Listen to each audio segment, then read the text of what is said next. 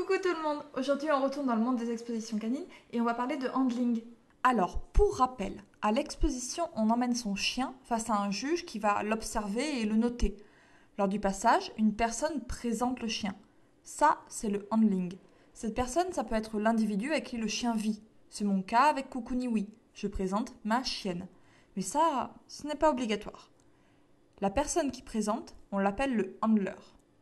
Lors de l'exposition, j'ai rejoint Tiffen et ses bergers blancs suisses. Une personne, plusieurs chiens. Dans ce genre de cas, il faut parfois faire appel à des aides extérieures. Le handler peut être une autre personne, que ce soit une connaissance, une amie, un membre de la famille, ou pourquoi pas un handler professionnel.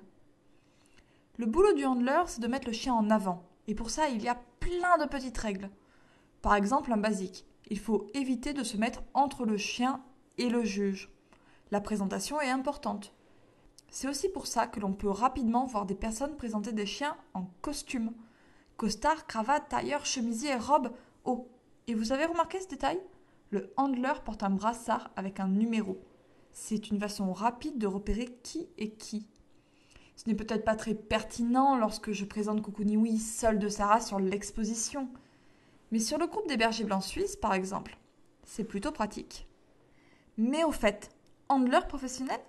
Oui, le handling peut devenir un métier. En France, ce n'est pas forcément très courant, c'est même plutôt rare. Mais le handler professionnel se fait payer pour la présentation du chien. Il peut toucher des bonus en fonction du résultat de l'exposition.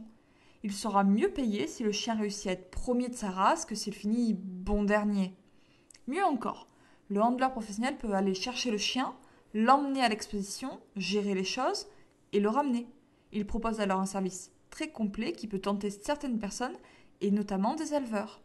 Handler, c'est un métier autour du chien assez peu développé, mais il existe. Voilà, c'était une petite page de plus sur les expositions canines. Bye bye